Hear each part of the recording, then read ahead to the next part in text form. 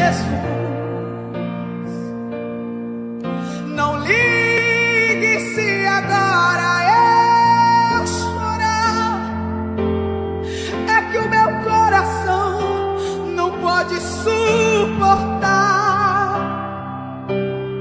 a grande compaixão que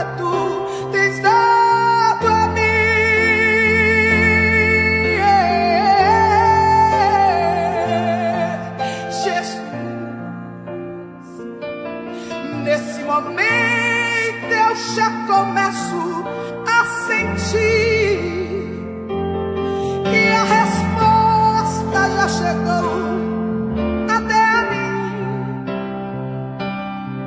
Estou chorando porque sei que estás aqui.